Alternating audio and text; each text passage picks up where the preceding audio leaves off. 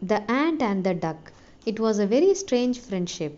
All the creatures in the lake wondered how the ant could have made friends with the duck. It began one sunny day, said the ant, when I went for a walk along the edge of the lake. She slipped and fell into the water, explained the duck. She couldn't swim, and there was a frog. He wanted to eat me up, exclaimed the ant. I was swimming and saw the ant in trouble. So I dashed at the frog before he could catch her and put her on my wing, said the duck. That's how I reached the bank safely, added the ant. I was so grateful, and I was happy because I have never had an ant for a friend, said the duck happily.